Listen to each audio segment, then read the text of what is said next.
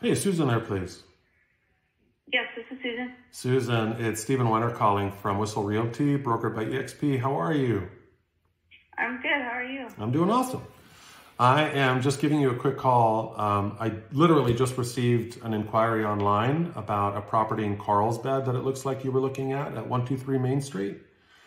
So. Oh yeah, that was that was me. Yeah, and it was literally less than a minute ago. So I just wanted to reach out, see what you're looking at, what information I can give you on the house, and just find out where you're at with your your housing search. So this particular property is in in uh, in the Carlsbad area. Is is that where you're you're looking?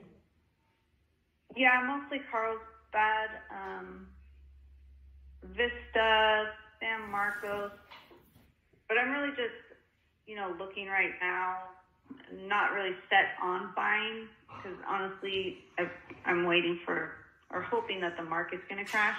Sure. And um, I mean, there's a lot of us crossing our fingers because the price, I mean, the price of, of real estate has gone up so much from uh, pre COVID to after COVID. And then we had a bit of a dip at the end of 2022. Did you notice that? Yeah, I did. And I, I thought that was, you know, the beginning. I thought that was where it was going to keep going. Right. now it seems as though it's picking back up. And so now I just don't know you know what's happening. So I'm just watching. And and that's the thing. And and I wish we all had a crystal ball, but here's where I want to dig in, just so I can maybe give you a bit more foresight. So have you ever heard people that say, oh yeah, you know, interest rate used to be 18%. You know, you ever hear those people that, that said that many, many, many moons ago? Yeah. Okay. so when interest rates were 18%, I think housing was like 30, 50, 70, 80,000. And then as we had inflation over all those decades, you know, price points of houses went up, but then again, there's just a certain level of affordability. And all of a sudden, we started to get used to lower interest rates again, but then the pricing skyrocketed, right? So people are very, very payment focused in the real estate industry. Well, pretty much in any industry, right? What is it going to cost me to get a car, to buy this, to buy that? Everything is about a payment. And when we look at what happens in real estate if we're waiting for a crash that may never come. I don't know, right? We don't have that crystal ball. There's a couple things I can tell you about this market right now. And maybe that'll just settle you to a degree because I want to give you a bigger picture. Now, if the market absolutely falls like crazy, what do you think is going to happen as far as the amount of competition? Do you think that if everything got to a point where it looked acceptable to everybody that no one's going to buy any real estate and it's going to hover at that level? Or do you think competition will start to jump back into the market because it seems like payments right will be reduced, affordability mentally seems like it's back, and all of a sudden, just like this seems too good to be true. Do you think that if the market crashed, that everybody would just sit out? Honestly, I I didn't think about it like that. Right. So there's a lot of different ways to look at this, but what I want you to understand is at this particular moment, values did go down. They are starting to creep back up, and that's kind of an anomaly to me. But even though the rates went up, what happened was inventory went down. And because the competition for property again is pretty fierce, what do you think will happen? Now, let's just talk about today and not just fictitiously if it all crashed and all those things, but today, with very little inventory, let's just say interest rates went down from where they are now to what we're hoping that they'll go down to so that things are a bit easier to afford. What do you think will happen when those rates fall? Um, I guess everybody's going to want to buy. Everyone's going to want to buy. And then what happens if we don't have high levels of inventory, the rates come down, and all these people start deciding they want to buy. What do you think is going to happen? That's when the competition starts. And with the competition, what were people doing in 2020, 2021, and half of 2022? Were they putting in crazy, ridiculous offers, way over ask? Oh, yeah, I heard stories. Right?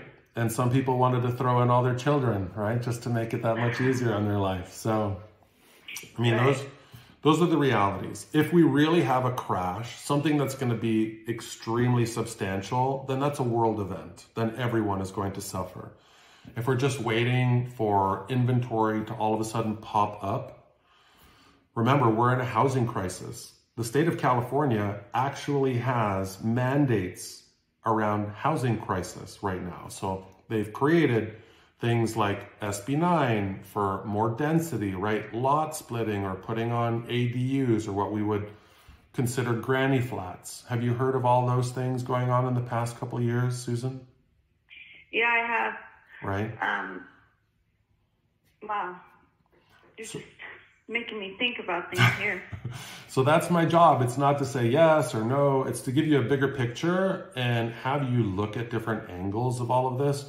Because realistically, again, if if I spoke the way I put it into like a logical order, if let's just say a bit more inventory trickled out. Right now we're hovering around the 1.1 month of inventory mark, meaning if not one more for sale sign went up, we'd be out of houses in just over a month. A normal healthy market for absorption is about four and a half to five months that it would take to absorb.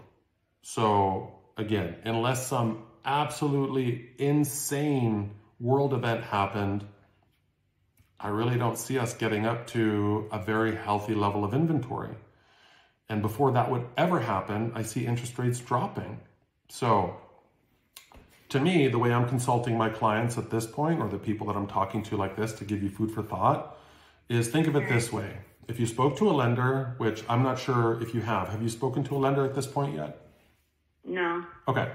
So if you spoke to a lender and they gave you a payment that you could stomach, I'm not going to say you're going to be happy about it, but if you can stomach, then what will happen is eventually at some point the rates will improve and they'll become better than where they're at today. So you've already locked in the price of your house, right? If you buy a house, you lock in the price. But what we don't lock in is the interest rate because the interest rate fluctuates. So if we lock it in, let's just say hypothetically you bought a house today, you locked it in at the current market rate, which you're not thrilled about, and then it went up, well, you're going to become a bit more thrilled, right? Because it's like, wow, I got in under.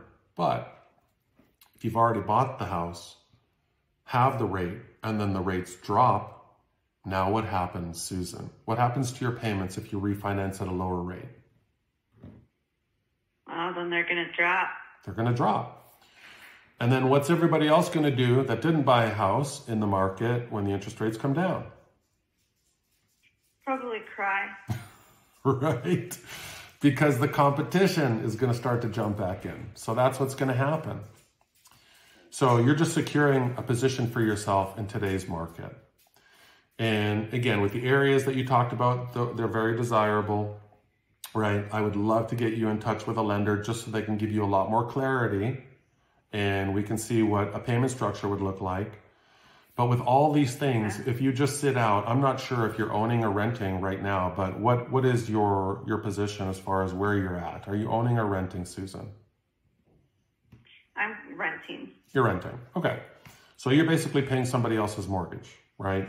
So you Right. don't you don't get any deductions, you don't get any write-offs, and all you're going to do is continue to make mortgage uh, to to make rental payments and mortgage payments for someone else. But if you bought something and it was yours, then all of a sudden you start to get these incentives as well. So there's a lot of different things that we don't consider because we just get focused on one thing, and that one thing scares us. So we don't think of everything else. We just focus on that one thing. So when when the time is right for you, Susan, is there a professional like myself that's helping you navigate the process to get you ready and prepare you? No, I haven't talked to anybody about it. Okay. Well, I, I'd love to have uh, an in-depth conversation around this, connect you to a lender, and really put a fantastic plan together for you. So, are you open to me connecting you to a great mortgage lender that can give you a better idea of what this will look like, and then also forecast at let's just say conservative rates for the future, so they can show you what will your payments drop down to when everything improves. Are you open to that conversation? Yeah, let's do this. I want to find out more now. okay, so what I'd love to do is my interest. right. So what I'd love to do is connect you to them, and if things all of a sudden triggered more, right, of the interest, and then that kind of upped the level of, hey, I really want to do this. You said you're renting. Are you locked into a lease for a while? Are you month to month? Can you share any of that with me, please? Yeah, I'm in a lease, um, but I think it's up in five months. In about five months. Okay. Yeah. And um, and again, I I don't know if there's a professional like myself that's helping you with all of this, but is there anybody in your world currently that's helping you put all this together for when the time is right for you? No, it's just me. Okay. Well, again, I, I, I just want to earn the right to work with you. I don't want to ask for it. I just want to show you what my team and I can do so that you can feel extremely comfortable as you can see how we unpack this process so that you have more clarity. Does that sound fair? Yeah, it does. This Okay. has actually been a really helpful conversation for me. Awesome. So what I'm going to do is I'm going to connect you to a lender. I'm, I'm going to put just a three-way email together so that everybody has each other's information. And then once the two of you communicate, I'll reach out within the next 24 to 48 hours. And then we can schedule a time to meet in person so that I'm not just some voice on the phone, but we can get to know each other personally. Okay. Okay. All right. Yeah, that'd be great. Awesome. Susan, you've been great. Thank you so much for sharing so much time with me. And you'll see an email come through pretty quick. And then I look forward to reconnecting and scheduling a time to meet, okay? Okay, great. Thank you so much. You're welcome. Thank you for your time. All right. Bye. Bye.